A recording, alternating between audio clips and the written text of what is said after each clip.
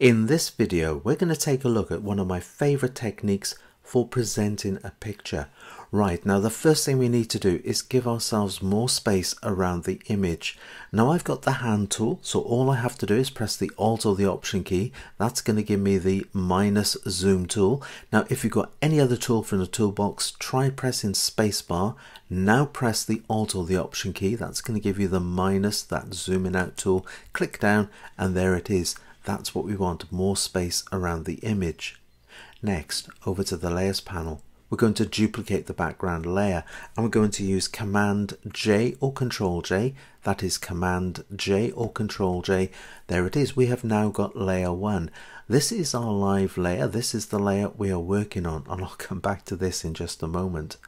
Over to the toolbox, we need to make sure we have got the default colors. We want white to be that background color. So all we have to do is press D on the keyboard. So press D on the keyboard or click on this little icon here. This is also going to restore the default colors. And there it is. White is now the background color and that is important.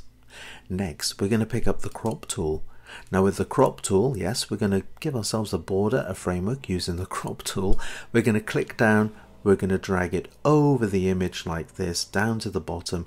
And when we release the crop tool, watch what happens. We get little grab handles to each of the corners, as well as the top, the bottom, and the two sides. Now I'm going to come to this grab handle here and when I bring my cursor over it you'll notice the way we get a double arrow. Now before you do anything, press and hold down the Alt or the Option key. So hold down Alt or Option and we're going to pull it out into the workspace. And because you're holding down that Alt or Option key, the two sides are coming out equally. We're going to take it to that sort of area. That will do nicely. Next, he says, come back when I'm speaking to you. So I'm just going to use the spacebar now Command or Control popping into that area there will do nicely. Right, don't you love it when that happens? Come into the bottom grab handle. Once again, pressing Alt or Option. Holding down Alt or Option, we're going to pull it out and we're going to take it into this position here, releasing your mouse or pen. Now, what if you want to give a little bit more space to the bottom? Well, release your mouse or pen, release the Alt or the Option key. So now just click down and pull it down fractionally like that that will do nicely. Bring your cursor inside. You'll notice the way you get a black arrowhead. Just double click down or click on the green tick. And there it is. There is our framework. There is our border. Let's use Command 0, Control 0 to go to fit on screen. But take a look over here at the layers panel you will notice that that framework, that border, has gone to the background layer. If I switch this off, you'll see we got the checkerboard background there on layer 1, and we're looking through, we can see the white there on our background layer. Notice that we've also taken on white, which is the reason why we had to reset the colors here in the toolbox. Okay, for the next stage, let's give ourselves just a little bit more definition around the image itself. Now to do that, we're going to go to Styles. Now with Styles, from the drop down here, I'm going to click on it and I'm going to scroll up and there it is. We're going to go to Drop Shadow.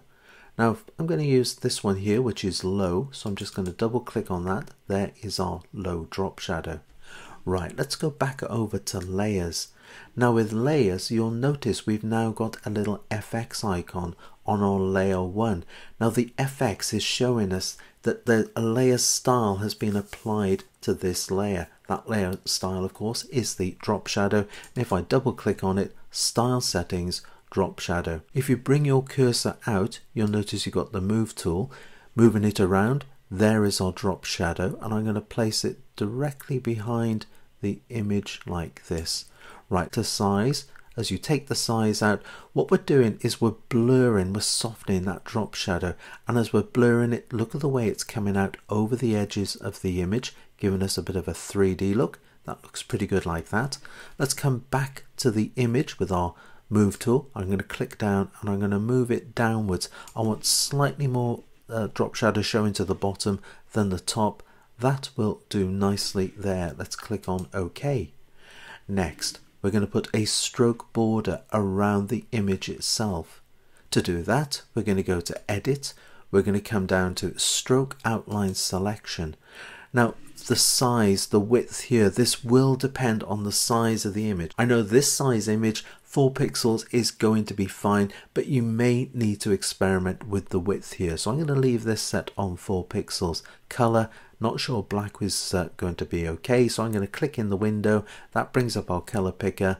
I'm not going to go for a brilliant white. Instead, I'm going to bring it down very slightly. Notice the way that that color there changed. Just going to go for a little bit of an off-white.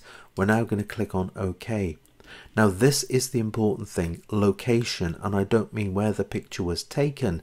Location for the stroke, make sure you select inside. So make sure you select inside. Now inside is going to give us nice sharp corners. If you use center or outside, you're going to get that rounded effect, which doesn't look particularly good. So make sure you select inside. We're now going to click on OK and there it is. There's that nice stroke border that I was talking about. You can see that sort of sharp corners. So there it is. That has got to be my favorite way for presenting a picture. I first did this technique, oh, it's many, many years ago. I did a video on this uh, first of all, but I thought I'd just bring it up to date. I hope you've enjoyed the video. Please like and subscribe. That way you'll get all the new videos as they become available. But until the next time, it is happy imaging and take care.